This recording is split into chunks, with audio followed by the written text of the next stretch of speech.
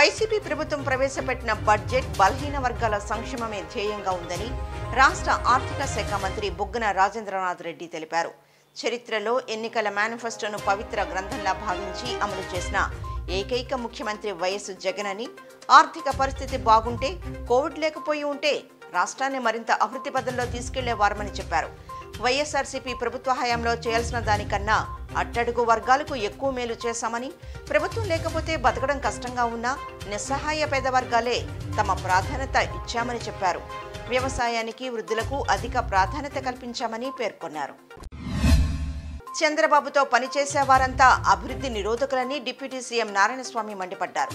Assembly వద్ద మీడియాతో మాట్లాడుతూ ఎస్సీల ఓట్లను హరించి రిగ్గింగులు చేసే సంస్కృతి చంద్రబాబుదని ఏనాడైనా బలహీన వర్గాలని ఇంటికి పిలిచి గుక్కెడు నీళ్ళైనా చంద్రబాబు ఇచ్చాడా అని ప్రశ్నించారు. ఓట్ల మీద ఉన్న ప్రేమ పేదల మీద బాబుకు లేదని ఎద్దేవా చేశారు. బడుగు బలహీన వర్గాలను రాజ్యాధికారం వైపు సీఎం జగన్ నడిపిస్తున్నారని అహంకారంతో అక్కసుతో ప్రభుత్వంపై దుష్ప్రచారం చేస్తున్నారని ఆయన ధ్వజమెత్తారు. రాష్ట్రంలో ఆరు వేల వంద ఉపాధ్యాయ పోస్టుల భర్తీకి విద్యాశాఖ మంత్రి బొత్స సత్యనారాయణ నోటిఫికేషన్ విడుదల చేశారు. ఈ నెల పన్నెండు నుంచి ప్రక్రియ ప్రారంభమవుతుందని ఏప్రిల్ ఏడున ఫలితాలు వెల్లడిస్తామని మంత్రి బొత్స తెలిపారు. తమ ప్రభుత్వం నిరుద్యోగ యువతకి అండగా ఉంటుందని చెప్పారు. రాష్ట్ర ముఖ్యమంత్రి వైఎస్ జగన్మోహన్ రెడ్డి రాష్ట్రంలో ఉన్న పేదలకు సుపరిపాలన అందిస్తుంటే చూసి ఓర్వలేక ప్రతిపక్ష నేతలు ప్రభుత్వంపై అసత్య ఆరోపణ చేయడమే పనిగా పెట్టుకున్నారని రాష్ట్ర సమాచార శాఖ మంత్రి వేణుగోపాలకృష్ణ ఆగ్రహం వ్యక్తం చేశారు.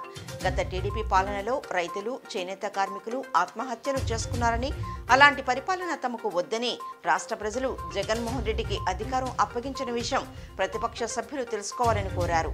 రాష్ట్రంలో లోటు బడ్జెట్ ఉన్నా ఎన్నికల్లో ఇచ్చిన ప్రతి వాగ్దానం అమలు చేసిన ప్రభుత్వం జగన్మోహన్ రెడ్డిదేనని చెప్పారు. ప్రభుత్వం చెప్పే సమాధానాలు వినలేక అసెంబ్లీ నుండి టీడీపీ శాసనసభ్యులు పారిపోయారని ఎద్దేవా చేశారు. అసెంబ్లీలో రెండు వేల ఇరవై నాలుగు ఇరవై ఐదు ఆర్థిక సంవత్సరానికి సంబంధించిన ఓట్ ఆన్ అకౌంట్ బడ్జెట్ను ప్రభుత్వం ప్రవేశపెట్టింది. ఆర్థిక మంత్రి బొగ్గన రాజేంద్రనాథ్ రెడ్డి శాసనసభలో బడ్జెట్ను ప్రవేశపెట్టారు. ఐదేళ్ళుగా బడ్జెట్ను ప్రవేశపెట్టే అవకాశం తనకు దక్కిందన్నారు. జాతిపిత మహాత్మా గాంధీ సందేశంతో బడ్జెట్ ప్రసంగాన్ని ఆయన ప్రారంభించారు. రెండు వేల ఇరవై నాలుగు ఇరవై ఐదు ఆర్థిక సంవత్సరానికి గాను రెండు లక్షల ఎనభై ఆరు వేల మూడు వందల ఎనభై తొమ్మిది కోట్ల అంచనాతో బడ్జెట్ను ప్రవేశపెట్టామని చెప్పారు. అసెంబ్లీ సమావేశాలు మూడవ రోజు మొదలవగానే రైతాంగ సమస్యలపై టీడీపీ ఇచ్చిన వాయిదా తీర్మానాన్ని స్పీకర్ తమ్మినేని సీతారాం తిరస్కరించారు. దీంతో వాయిదా తీర్మానంపై చర్చ చేపట్టాలని టీడీపీ సభ్యులు పట్టుబట్టారు. దీంతో సభలో తీవ్ర గందరగోళ పరిస్థితి నెలకొనడంతో ఈ రోజు కూడా టీడీపీ సభ్యులను స్పీకర్ సస్పెండ్ చేశారు. అయితే సభ నుంచి బయటకు వెళ్ళేందుకు తెలుగుదేశం ఎమ్మెల్యేలు నిరాకరించారు. సభ మొదలవగానే వాయిదా తీర్మానంపై చర్చకు టీడీపీ ఎమ్మెల్యేలు పట్టుపట్టారు. ఆక్వా రైతులను దోపిడీ చేసిన ప్రభుత్వం నశించాలంటూ టీడీపీ సభ్యులు నినాదాలు చేశారు. మంత్రి బొత్స సత్యనారాయణ ఐఐటీలకు సంబంధించిన సవరణ బిల్లు ప్రవేశపెడుతున్న సమయంలో టీడీపీ సభ్యులు నినాదాలు చేశారు. సచివాలయంలో ముఖ్యమంత్రి వైఎస్ జగన్ అధ్యక్షతన సమావేశమైన రాష్ట్ర మంత్రిమండలి సమావేశంలో ముఖ్యమైన కొన్ని కీలక నిర్ణయాలు తీసుకున్నారు. ఉభయ సభలను ఉద్దేశించి ప్రసంగించిన గౌరవ ప్రసంగానికి ఆమోదం తెలిపిన మంత్రిమండలి. బోండా ఉమాకి సెంట్రల్ నియోజకవర్గ ప్రజలను ఓటు అడిగే అర్హత లేదని వైసీపీ సెంట్రల్ నియోజకవర్గ ఇన్ఛార్జ్ వెల్లంపల్లి శ్రీనివాసరావు అన్నారు. గత ప్రభుత్వంలో నియోజకవర్గ అభివృద్ధిని విస్మరించారని దుయ్యబట్టారు. సెంట్రల్ నియోజకవర్గంలో వైసీపీ జెండా ఎగరవేయడం తథ్యమని ధీమా వ్యక్తం చేశారు.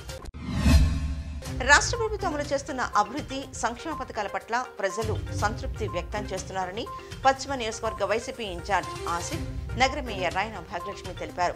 పశ్చిమ నియోజకవర్గంలో కోట్ల రూపాయల నిధులు వెచ్చించి అనేక అభివృద్ధి కార్యక్రమాలు పూర్తి చేశామని చెప్పారు. ఏం తప్పు చేశారని చంద్రబాబు వాలంటీర్లను జైల్లో పెట్టిస్తా అంటున్నారని తూర్పు నియోజకవర్గం వైసీపీ సమన్వయకర్త దేవినేని అవినాష్ ప్రశ్నించారు. కరోనా సంక్షోభంలో తమ ప్రాణాలను పణంగా పెట్టి సేవ చేసినందుక పెన్షన్లు సంక్షేమ పథకాలు గడప వద్దకే ఇస్తున్నందుక వారిని జైల్లో పెట్టేదని సూటిగా ప్రశ్నించారు. రాబోయే ఎన్నికల్లో ప్రజల మద్దతుతో వైసీపీ ప్రభుత్వం అధికారంలోకి రావడం ఖాయమని అవినాష్ ధీమా వ్యక్తం చేశారు. చంద్రబాబు నిజస్వరూపం బట్టబయలిందని ఆయన అధికారంలో ఉన్నప్పుడు ప్రతి బడ్జెట్లో ఆర్థిక లోటు ఉండేదని దిగిపోయే నాటికి నాలుగున్నర లక్షల కోట్లు అప్పు ఉందని ఎమ్మెల్యే మద్దాల గిరి ఎద్దేవా చేశారు. నొక్కడం బొక్కడం దాచుకోవడం మాత్రమే చంద్రబాబు చేసిందని తెలిపారు. జగన్ పరిపాలనలో అభివృద్ధి లేకపోతే ఇన్ని కోట్ల రూపాయలు ప్రజల అకౌంట్లో ఎలా వేస్తామని పేర్కొన్నారు. రాష్ట్ర అభివృద్ధి భవిష్యత్ జగన్ వల్లనే సాధ్యమైందని చెప్పారు.